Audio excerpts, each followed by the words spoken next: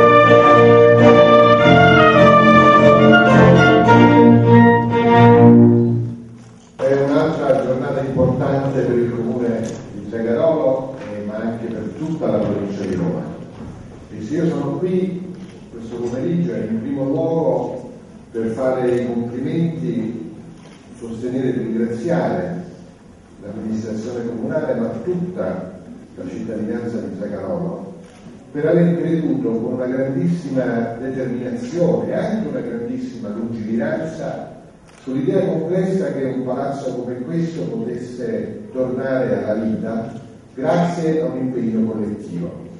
La lungimiranza dell'aver visto che attraverso il recupero di un bene dei cittadini, quale questo meraviglioso palazzo, si potesse offrire a questa vostra città una nuova opportunità di crescita collettiva e di sviluppo, con il museo, la biblioteca, questo orchestra giovanile da Camera eh, Goffredo Petrassi. E quindi attraverso la promozione della cultura eh, si promuove un arricchimento di una comunità civile. Con l'inaugurazione di oggi ancora fa un passo in avanti la presenza di un'importantissima e prestigiosa università internazionale come la Turo University che renderà questa vostra Zagarolo sempre più meta di ospiti provenienti da tutto il mondo. Noi ovviamente continueremo ad essere vicini, molto vicini a Palazzo Rospigliosi perché ci abbiamo creduto sin dall'inizio, continueremo a crederci e soprattutto, ripeto, reputiamo questa esperienza un tassello fondamentale di un'idea di sviluppo che punta sull'arte, la cultura, la socialità, lo stare insieme, l'importanza che il talento e la creatività possono dare per renderci tutti più ricchi e più ricchi dentro soprattutto. Grazie.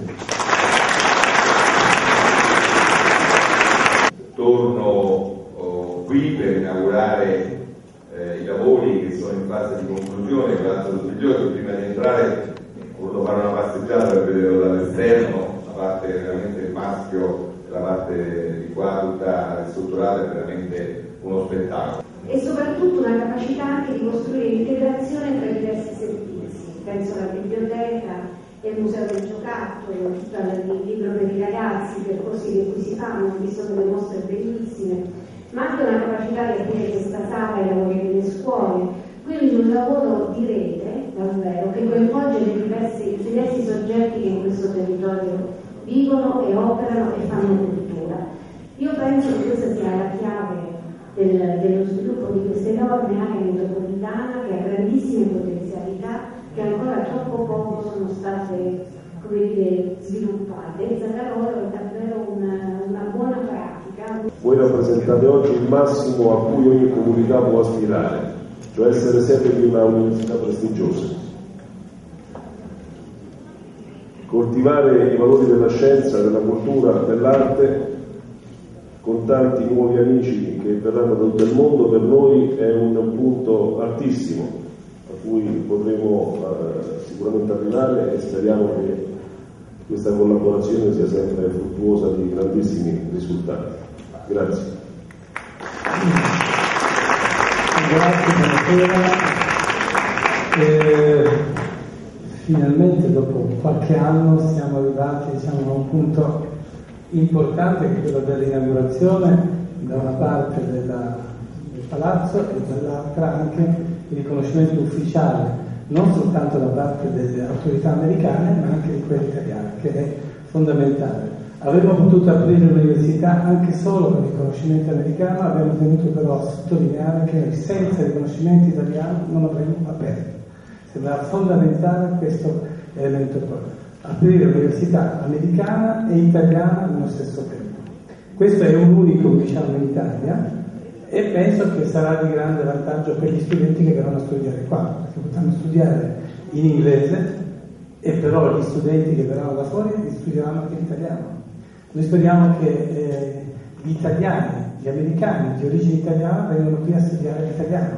Questo è uno dei nostri progetti. La giornata di oggi segue già una giornata importante, però indubbiamente per chi è di Zagarolo, per chi è affezionato a questa terra, eh, parlare di Palazzo Rospigliosi è un po' eh, parlare di noi stessi, quindi la giornata di oggi è indubbiamente eh, una giornata storica da qualche anno a questa parte siamo carenti di una vocazione anche economica. Allora valorizzare eh, questi spazi eh, vuol dire anche ripeto, rilanciare eh, da un punto di vista eh, economico queste zone.